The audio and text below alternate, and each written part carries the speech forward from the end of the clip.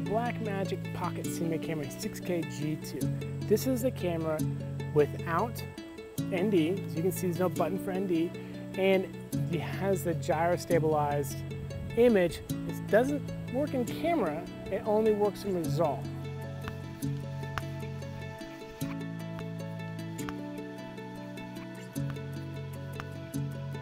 So in camera, you might move the camera a little bit, go into Resolve, and you can take the gyro stabilization, that data recorded by the camera, and stabilize your footage that way.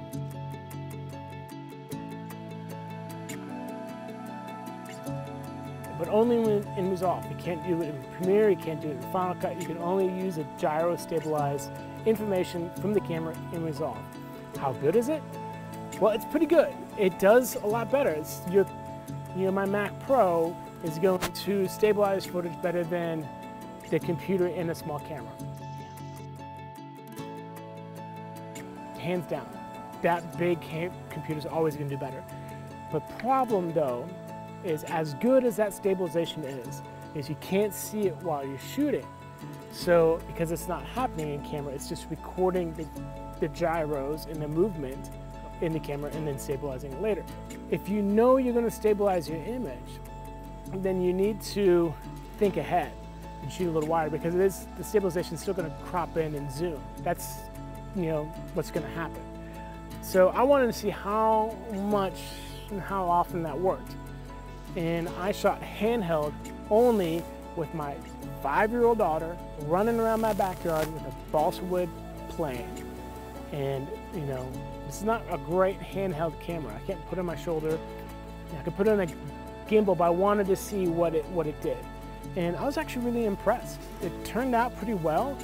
I think when you cut frames and you make an edit and then gyro stabilize, I think that might work better. But if you like if you're just rolling and running and then the image is gonna, the computer's gonna try to stabilize that whole long clip. And um, that's not gonna work out for you. The less expensive version without the ND is a great option for, for a lot of people like myself and other people who shoot multi-camera. You can use this camera with Blackmagic's new Ursa Mini 6K, which is the same sensor, and you can have a really true multi-camera effect with everything looking the same across the board. Brilliant use of the gyro stabilization. I'd love to see that in all their cameras. I believe it's in the Pocket Cinema cameras. I don't know if it's in the Ursa Minis. Would love to see it anything down the line. I think it's a really smart um, way to incorporate gyro stabilized footage. One of the problems with Blackmagic Pocket Cinema Camera G2 6K, 6K G2, whatever you want to call it, is you can't see how much resolve is going to stabilize your footage, right? So if you use another camera and it has an in-camera stabilization, you can see when it's working. And think of like the Canon or Sony or anyone else. But this one, it's only in Resolve.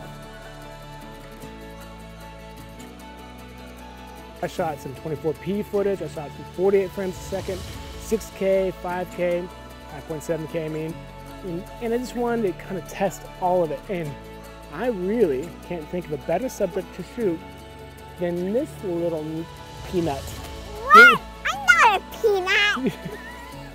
Did you like a uh, balsa wood airplane shoot?